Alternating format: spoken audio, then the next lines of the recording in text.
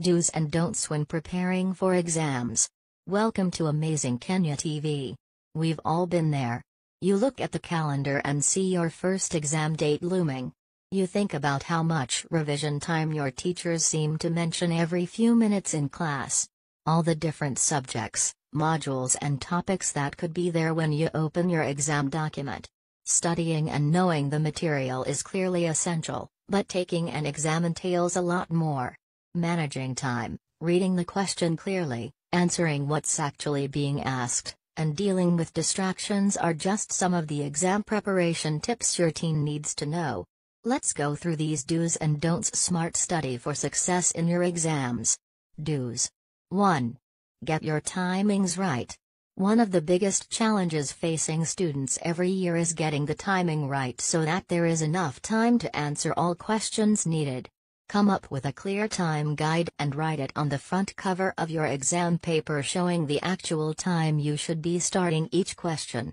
Then, in the middle of the exam you will be able to look at your watch and easily see how many questions you should have done at that time. 2. Bring everything you need. It may sound simple but a lot of stress can be avoided by making sure you have everything you need to do the exam. Make a checklist the night before each exam, then go through it before you leave home and again before entering the exam hall. It's a good idea to bring some snacks into the exam hall. Bananas and cereal bars are good. Avoid bringing noisy foods such as crisps that will distract everyone else. 3. Do the easiest questions first. There is no reason to do the questions in the order they are printed in the exam. There are a couple of reasons for this. Firstly, Getting the first question done well will help calm you and get you focused for the rest of the exam. 4. Get the basics right. Okay, you've heard it a million times before but make sure you get the basics right. Read the questions carefully, underline key parts, and put your exam number on your answer booklet. Get familiar with the layout of the exam paper. Some papers are tricky and complicated instructions could throw you on the day. Know the meanings of the key question words. 5. Read the whole paper before writing anything. One of the most important exam preparation tips to drill in during the run-up to exams, read every question before you write anything. Don't get stuck in straight away. Read the paper from start to finish at least once before you begin writing. There are often choices to be made within the exam, so planning before you start is the best idea. 6. Ask the invigilator. If you're stuck on the meaning of the word or can't understand what a question requires you to do, Put your hand up and ask the invigilator who is supervising the exams. More often than not they'll help you or point you in the right direction. 7. When running out of time, if you find yourself with time for only one question but two questions are left to do, the best thing here is to do the first half of both questions. Often, you gain more marks in the first half of a question than at the end. Also, if time is tight, bullet points can be a great way of getting the information down as quickly as possible. Don'ts 1. Have a realistic revision schedule.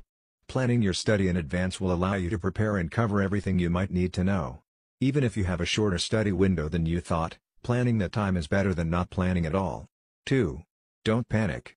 Easier said than done we know, but it's important to try and keep level-headed throughout the exam. One of the main reasons for stress at exam time is the lack of control. Students get stressed because they don't know what is coming up. 3. Don't leave out questions. From experience, the main reason students underperform in exams is not because they answer questions badly, but because they leave out questions. As a rule of thumb, every long question you leave out will drop you by a grade. 4. Don't get stuck on a question. If you get a particularly hard question, don't sit there panicking about it. The best thing you can do is having a quick think about it, mark it with a highlighter and move on to another question.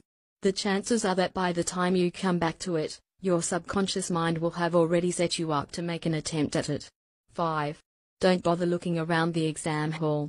One of the most common things students do, especially in exams they find difficult, is look around and try to see how their classmates are doing. There is really no point in doing this and it is likely that seeing others furiously writing away will only serve to stress you further. Concentrate on your own exam and try and keep your focus on your own paper. 6. Be calm and kind to yourself. It is an important time for you, but you should be able to enjoy this time and be proud of how far you've come. 7.